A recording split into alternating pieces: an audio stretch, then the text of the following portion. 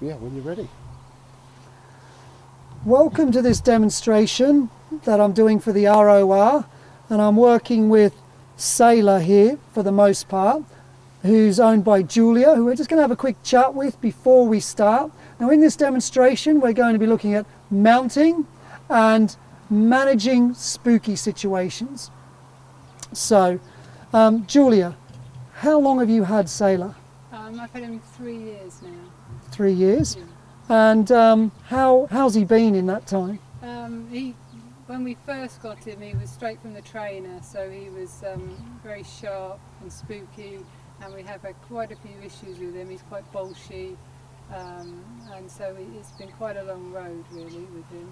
Yeah. Uh, but he, he's, he's getting there. Yeah. Yeah. So you've had a few few issues on the ground. Yes, he's um, he's not too bad at home, but going to events, he's very bolshy when you get him out of the box, running through me, not listening to me, sort of knocking me over. Has been known to sort of spin around and even kick out, not at anyone or anything, just sort of Just in sort of excitement yeah, and he just- frustration. I think it's the atmosphere of shows and things, Yeah. um, or sponsored rides. He just sort of gets to a point, almost loses it. Yeah. Um, And so- and what about ridden? Ridden, he's he was very spooky and, and reacts to things I can't see, you know, in the bushes. Or he's fine with big tractors and things that you think they might, even bikes at Bedgebury, you know, he's he's all right with. But a, a lot of it is sunlight, I think, you know, shadows, and he Yeah. seems to be quite reactive in woods, coming out of woods. So so he, he can be an interesting Yeah, character Yeah. and um, Quirky, I think the word is. quirky. And so we're we're looking at doing some mounting, and in that we'll be doing some groundwork, in Yeah. including lunging. And how have you found him with lunging and He, and that sort of um, thing? He's not great on the lunge. He does tend to um, come in on me, so when I'm lunging him, um, he'll do a few nice circles. He goes out all right. He'll do a nice few nice circles. Then I think he, when he thinks he's had enough, he then comes in at me. Um, and if I try and get him to go back out, he has been known to rear up at me um, and is quite reactive like that. okay? Um, so that's an issue I do have, especially on his right rein. He seems worse than on the left le- rein, uh, which is generally, even in ridden work, his right rein is his. Yeah, he's slightly more flighty. Yeah, yeah, exactly. Okay, which is all perfectly normal, but it can be managed and it can be improved. yeah. So it's really interesting to hear all those things because as I work through the groundwork to get him to be um, good to, to mount and stuff, and I know he already is quite good to mount, but we're going to add a bit more detail to that. But it'll be interesting get going through those processes and, Yeah. and obviously being a spooky horse, um, we'll look at how to manage that as well. yeah. all right. Great. Let's have a look. The first part of this process is about desire. So if you have a horse that won't stand to be mounted, then they're obviously looking at the mounting block and thinking, I don't want to be anywhere near this, I want to be away from it. So the first thing you need to think about is how can you improve your horse's desire to want to be by the mounting block? Now, it could be any number of things depending on your horse. I'm going to show you uh, an idea that could work for you. But think outside the box. This is not just about uh, doing exactly what I say, it's understanding the principles behind. So, to increase a horse's desire to be by the mounting block, what I might do is I might ask Sailor here to lunge round. So, create some movement. Get him moving around. So for this for this part of the process to work, you need to have a a horse that can lunge, uh, and b a horse that you can stop where you want us where you want them to stop. Now, I'm going to go all the way around again, and I'm going to start to think about stopping Sailor by the mounting block. So I start to think about whoa, whoa. okay, so I didn't do very well there on my stop. So I need to ask Sailor, who's a little bit worried about this. So again, we're running through some processes. So desensitizing there before I get into it too much. And I'm going to just ask him, just tap, when he brings his hind leg around, that's great. Tap this side. He's coming into that tap, which we don't particularly want. So we'll just wait for him to move away and then relax again.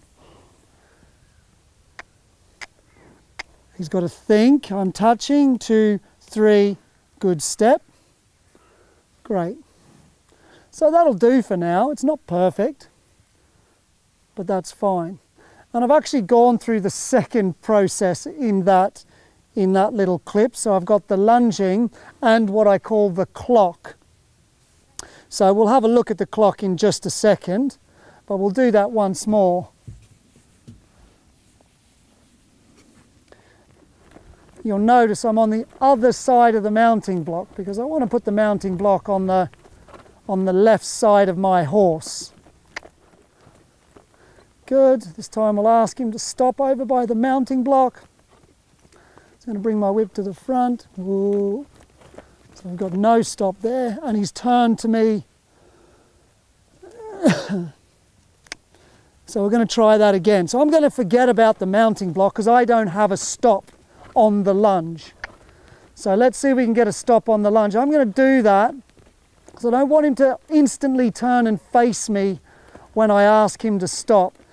So there he wants to turn and face me. So when I walk out to him, whoa, I'm going to keep walking and ask him to stop there.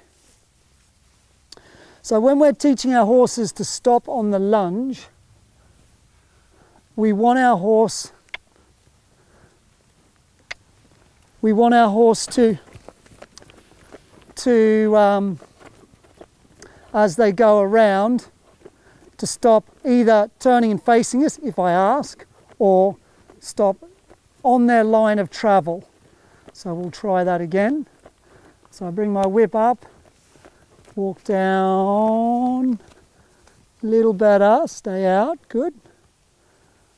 So I've just caught him with my lunge whip there and just guided him back onto the, onto the straight.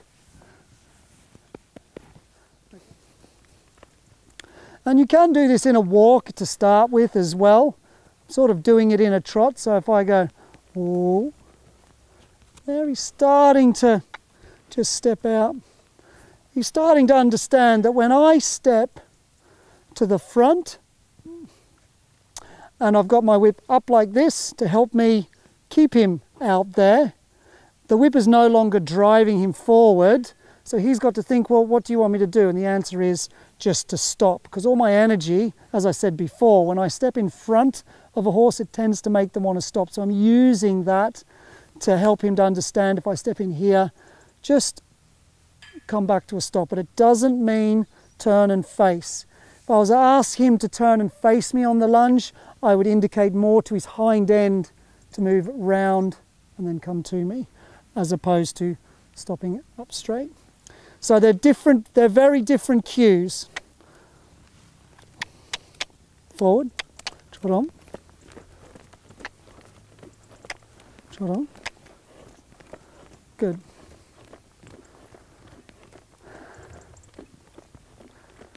And we'll walk to his eye, to his eye. Good. That's getting better. I want to be on this side of you. There, that's where I want to be. So you can see, see how their desire starts to Im improve, or at least I hope you can start to understand that he, while he's working around, just going forward, I'm sort of getting him a little bit sort of, where do you want me to be? What do you want me to do now? and then I present the mounting block as an option. And then hopefully after a while, I'll, when I put a mounting block out, it becomes a target for him. It becomes a place of, oh yeah, I can stand here and rest. And that's how you increase the desire. But to, to get him into those positions, you've got to have good control of your horse. So we're going to do the clock just quickly. You see, I've already sort of done it, but this might make, make a little more sense. um, as an exercise. So first check your horse is good with your aids.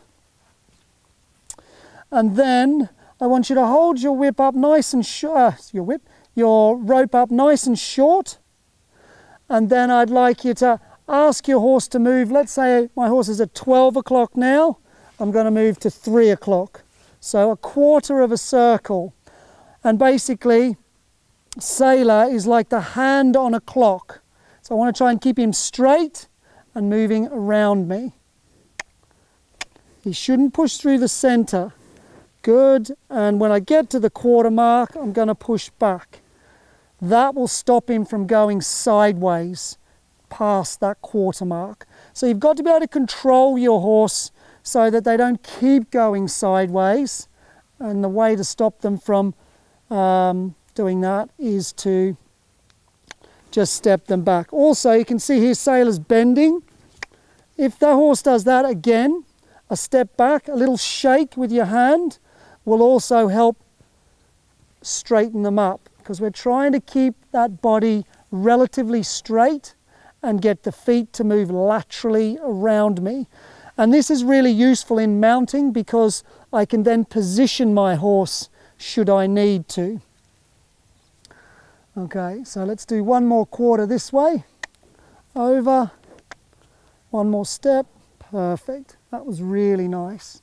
So he's done that without too much trouble and stayed quite straight. That is great. Okay, so we've got that. And the old saying is, what you do to one side, you must do to the other. So a little rub, and we'll ask him to move um, from here now, which is my new 12 o'clock, this time to 9 o'clock. So I'll ask him to move over, good. And step back at 9 o'clock. Good, just one little step back. And I'm, I'm holding up nice and short so that me as the center of the clock, I don't get too much wobble. I don't get too much push forward or too much back. I want to keep his head fairly well fixed um, to, to one spot if I can. So that's his objection to being told to move. So just count two, three, four, keep a rhythm, two, three, four, there. Good. And relax. okay. And we'll do that again. So we need to have a little less resistance. I'm tapping him there and he's, he's either trying to work out which way to go or he's thinking, I know how to stop that tap, I'm going to kick it, which he has done a couple of times. Good. And good. There's another quarter, little step back. Well done.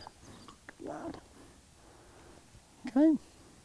One last time this way. Over. Good. When he takes a step, stop tapping as well. You don't need to tap all the time. So you will have noticed there, I tap with a rhythm. The more, I, more energy I put into the tap, the slower the rhythm to give my horse the opportunity to respond to that tap. They need that little bit of um, thinking time. And then when I get the movement, I can stop, allow the movement to happen, and either reward or ask a little more to, to get to that quarter should you need. Okay, let's go back to our getting a bit of desire. So,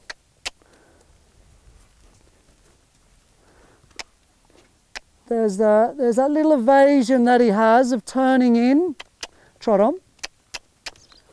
Walking isn't going to be enough to create uh, a desire to be where I want him. So he's thinking backwards right now. His head's up, he's looking back at me, saying, I don't want to go forward. Okay, just keep going, and I'll show you a good place to be. Oh, good. Now, I might want to position him a little better so here I can come into my clock position if I need to. Don't panic. You don't need to be doing it in a huge hurry. Get yourself organised and ask him to step up. Good. One more step. Excellent. And then we'll just leave him, leave Sailor there just to go, God, that's a great spot to be. We'll just do one on the other rein. So we'll pull him, we'll bring him away from there. And we'll go the other way round. But I'm going to position him on the same side. So this time the mounting block is going to be on the outside of the circle. Trot on. So again, slightly backward in his thinking there with the tap. He's thinking about kicking me, or kicking the whip really. And that's why you want something to keep you away from your horse, something a bit longer. But when he does start to travel, we just say, yeah, there you go, that's all we want. Just round you go. You got it. So it's, ooh, ooh, Good. That was very good. Good stop. Stayed on his line of travel, but we'll have to just ask him, step up. So I'm just showing him this just to say, need you to move, not past me. So the clock's really helped there. If I've got a pressure and I, on the pole, so there's a little pressure there, and I introduce the whip, that pressure should he should start to take the cue from the pole and come forward. If I've got a pressure on his nose, then, and I asked to cue the side a little bit, then that pressure tends to go back. If there's no, not so much pressure on the pole or the, or the nose, so here and here, then we'll get our sideways or more of our sideways movement. So again, we let him just rest there, relax, really enjoy that spot. And once he's there,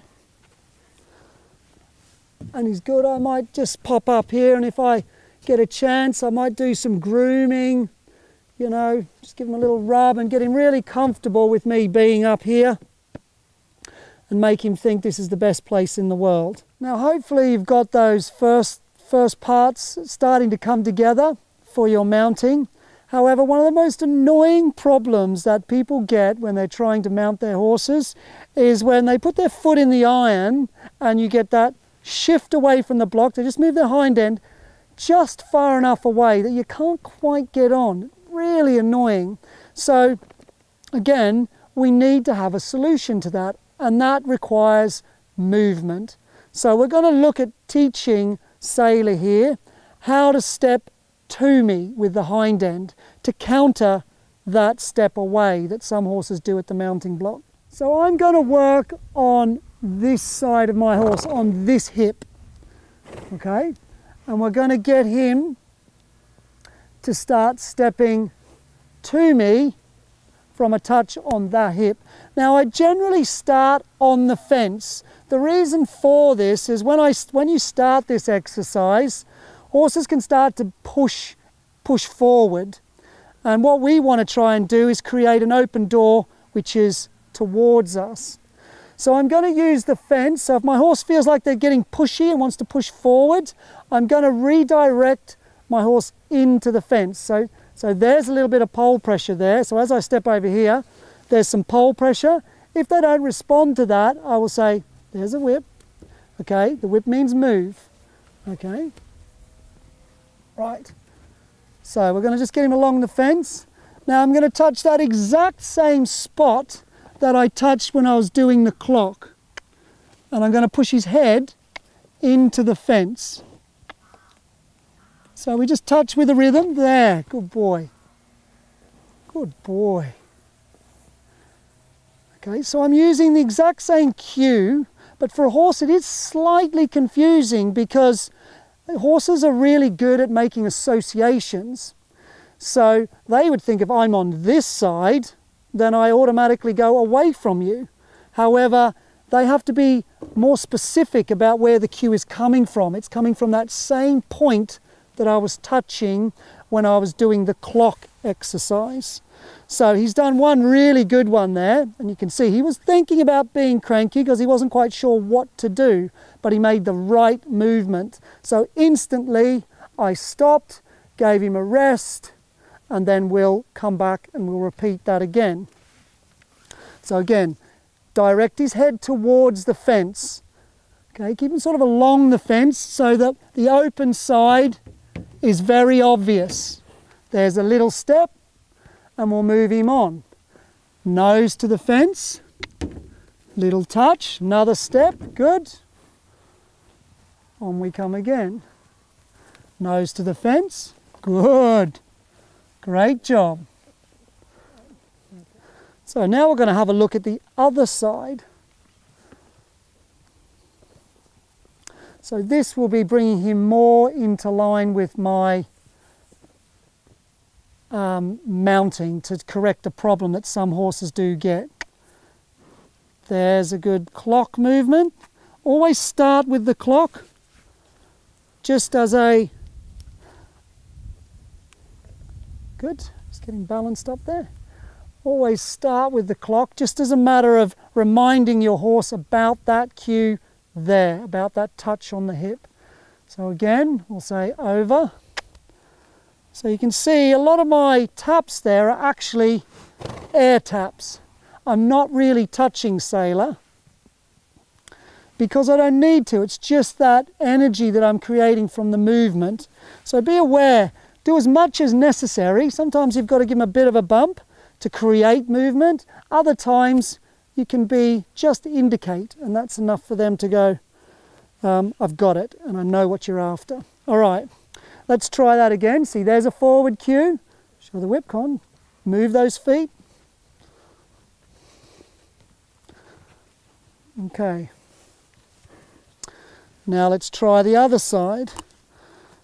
So we're gonna short, we've got our rope fairly short now. Indicate this side so you can see nose to the fence and step him over. I'm not sure that was because of the horse's whinnying or because he was being really good. So nose to the fence, indicate, good step. Well done. Okay, over, nose to the fence, and one more step, perfect. When we start to do this at a mounting block, we first have to check that we can do it away from the fence, get this step away from the fence, because obviously sometimes when we're getting on a mounting block, it will be in the center of the school. There'll be no sort of barriers to stop your horse from moving, so we need to check our control with that. Now I start doing this by sort of just come away from the fence a couple of meters and just see if you can hold that line while you ask for it, while you ask for that sideways step. So now I'm a couple of meters away, just step over here so we're almost in a similar position we would be on the fence and then a little touch and then there. That's brilliant. Now, we're starting to get to that good place where we've got a little bit of control over our sideways. We've got a desire to be by the mounting block. The only thing we haven't really checked, which is always good, but I have been working on this while I'm doing the clock, is backwards. So although I haven't talked about um, that movement, it has been worked on. So if I put a, a pressure on the nose and I'm looking for a backward step, good. Okay. Again, all vitally important when we're trying to position our horse to let them realize this is where you need to be. Now, rather than walking into the mounting block and positioning your horse where you want them to get on, what is a really good idea to practice is standing on the mounting block, getting your horse familiar with it, and then making sure, bringing your horse into this position, almost like he, he knew what I was wanting. So the head is just here, and then we'll try uh, a tap on the hip. Now if he goes to move away from you, see if you can just keep, and there, there's the step. Good you step back. So we can get into a sort of a figure of eight pattern here. So if I tap here and I say, can you, can you please, not that way. If he goes too far that way, I can swap, tap on this side, still tapping the same spot, using the mounting block, and tap again, tap again. That's not, not quite right. That's a good step, well done. Let's try that again. That's a great step. Well done. He's still not in a position where I can get it, get on. When he's in a position that I can get on, he'll be facing the camera. That's the ideal spot.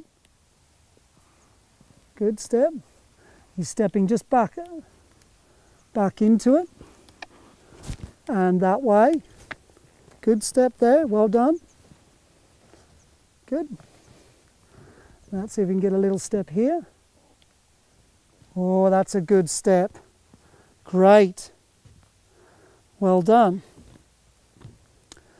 So you can see that little sort of figure of eight pattern where I'm sort of working over the top of him and even have to be on the same side, but I'm working the same point. So I'm just working on um, his right hip to get him to come back to this point and realize that that is a good place to be. I can barely get him away from the mounting block now. So let's keep him towards the mounting block. Good. As I would do the fence. And there's a good step. Well done. And let's try that one more time. And that's great. And now we're starting to get into that really good position where we can start to get on. And also when I start to get into getting on. If I put my foot on, I might even practice this. I have a head collar on, so I'm not helping on him now. I'm just playing. If I go to get on now and he was to move, I now have all the skills I need to adjust and say, come back to the mounting block and stand there. So we've just popped the bridle on Sailor here, but I want to talk to you about getting on correctly. And when I say correctly, I mean safely. Now I get on young horses and um, remedial horses for a living and I'm going to show you how I get on every horse and what I do just before I always get on them.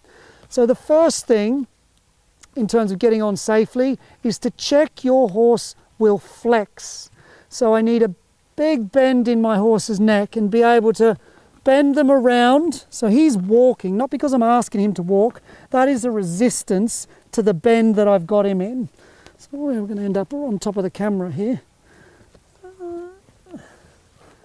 And we go. There, he's just softened off a little bit there, but his feet are still moving. Everything he's doing now is a resistance to that bend that I've put him in. He's pushing his head down, so and he's pulling against it. So I need him to just think there's a, there is a, there it is, he's come off that. So there's now no longer any pressure. So we can take that and allow him out, and then we'll try that again. And there he is, that's much softer. So when we're doing this flexion, I try and stay by the by the shoulder. I have about a foot and a half of rope, for, uh, rope of rein um, before the bit. So there's where my hand will be positioned. And then we bring the bend around. And you can see I'm sort of in a riding position here. So I'm actually just a little behind um, the shoulder. I can leave my hand on the pommel. And I'm just avoiding his feet Okay, watching what's moving. The hind end's moving a lot, which is fine. We don't mind the hind end moving. But he has to work out.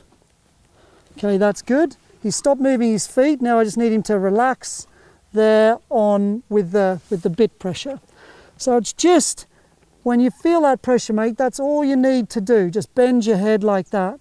Feel a bit pressure, don't yaw into it or resist it. It's just there, it's not going anywhere. There is one way to get rid of it, and that is to just release. So he's still just leaning on it just a fraction. He's thinking about coming off it. Wants to go to sleep on it. Good, he's had another little try about pulling out of it. Now he wants to see if he can walk out of it. None of which is working. Now, will he take this option this time? There. He's he's looked to bend round. So I've got my reins in, in what's called a bridge. So I've got a cross there and it's like that. Now this allows me, when my hand's by my horse's neck, to rotate my wrist there. This rein is loose, so it allows Sailor here to bend into that flexion that I've been telling him or been teaching him about. Now you might be asking, why is this so important? Well, if you get on a horse and a dog jumps out of a bush from behind you, or your horse is really tense, or something goes wrong and they go to run off, buck, bolt, rear, anything like that, then having that ability to instantly, without having to change rein positions or anything like that, being able to bend your horse means that your horse comes around you and you're able to get this crossing of the hind leg, which means your horse can't do any of those flight behavior can't do any of those flight behaviors that we try to avoid. So it's a precautionary measure, it's about safety, and this needs to be on your horses when you're mounting. You need to understand why and how to do that.